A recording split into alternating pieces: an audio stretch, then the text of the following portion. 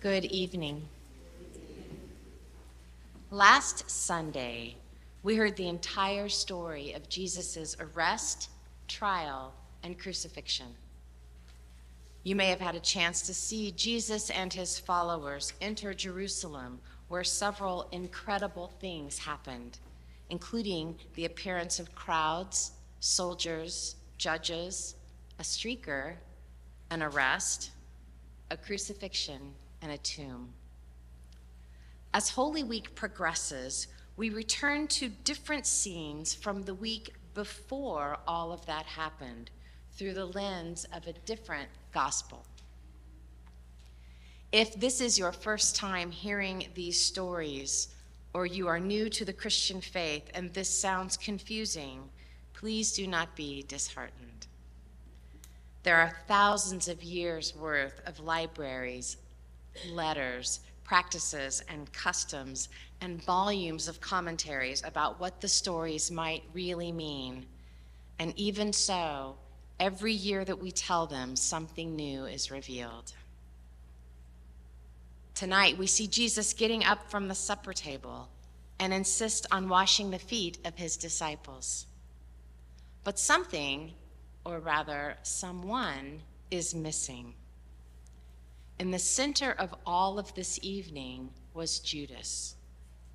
The prediction of his betrayal is foretold. If you look at the address of tonight's gospel reading, you will see that we skipped over verses 18 to 31. In the design of this week's retelling of events, those verses were assigned to be read yesterday, the Wednesday in Holy Week. Why? Maybe it was seen as a distraction or an interruption from the central action of the foot washing. Removing Judas from the scene may gloss over a central teaching of Jesus. There's a reason my former bishop and many others hold Maundy Thursday foot washing services at shelters and in prisons. Jesus tells his followers to serve one another. But by his actions, he shows that he means, by washing Judas's feet, that we do this for everyone, even if their actions are troubling or you don't understand their role in our life together. History has softened our take on Judas Modern scholarship has translated Judas's actions as handing over rather than betrayal. A distinction you can see between our Eucharistic prayers in Rites 1 and Rite 2. And many new translations do not have Jesus saying, You will betray me, but saying rather, One of you will turn me in. More of a necessity of action than an assignment of blame. It says tonight that it was the devil who planted this idea, either in Judas's heart or his mind, depending on which translation you read. But that doesn't really explain why Judas agreed to do what Jesus told him to go and do, though there has been much speculation over the centuries. Theories include his motivation was political or financial or maybe Judas underestimated how far the authorities would take things. Perhaps he believed that if they were holding Jesus in jail, he would be protected from the crowds until the festival was over. Or perhaps he was just wishing Jesus would finally stand up and take charge, and maybe this would force his hand. Or we can blame it on the devil but by now that feels like an easy out. John wrote in the reading from yesterday that none of the others at the table understood why Jesus sent Judas away. Last night's reading says, since Judas had charge of the common fund, some of them thought Jesus was telling him, Go and buy what we need for the festival or telling him to give something to the poor. As soon as Judas had taken a piece of bread, he went out. Night had fallen. It was Jesus who tells Judas to go and do what he must do.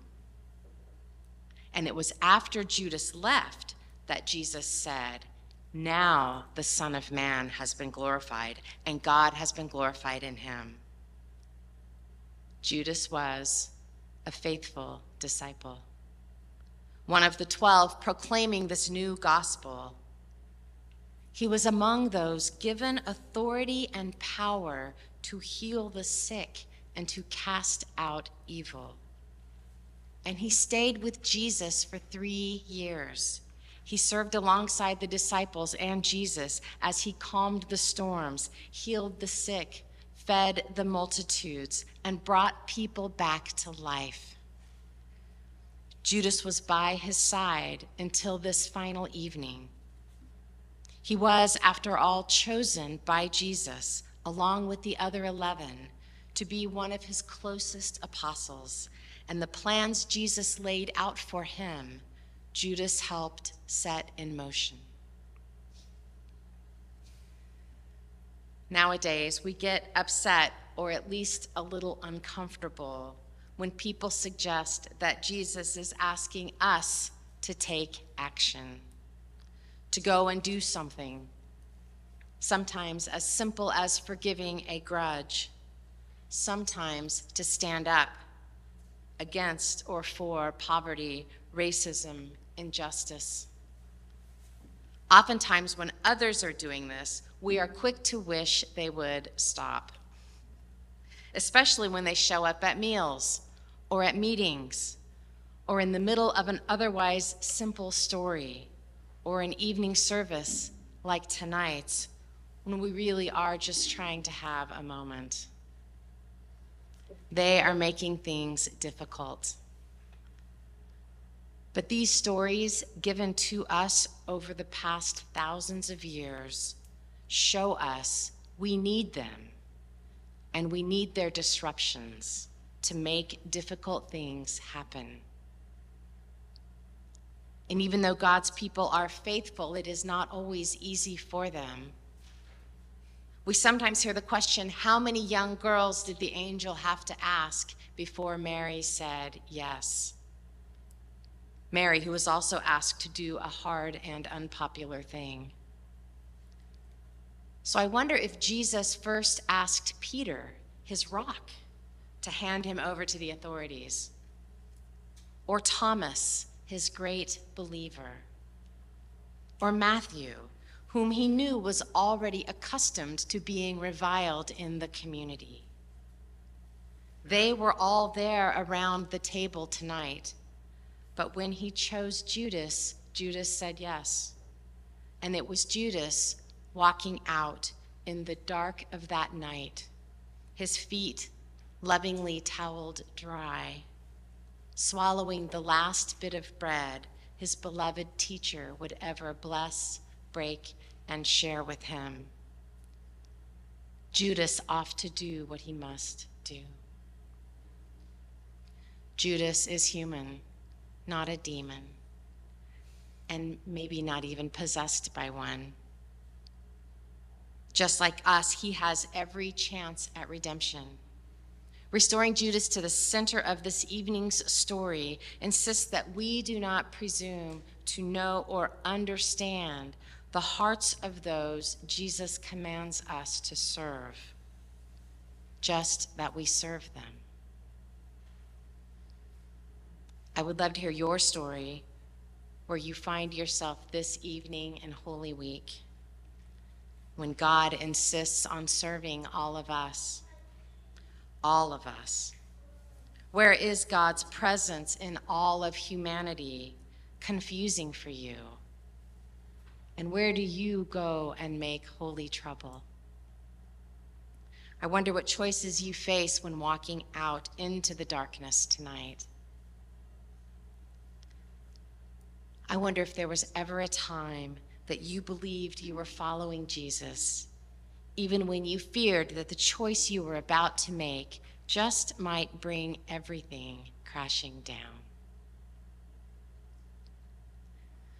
When you come forward tonight to have your feet or your hands washed, I want you to remember Jesus washing even the feet of Judas, and to be reminded with great joy that beyond our understanding, God's plans, God's grace, and the wildness of God's mercy covers all of our lives.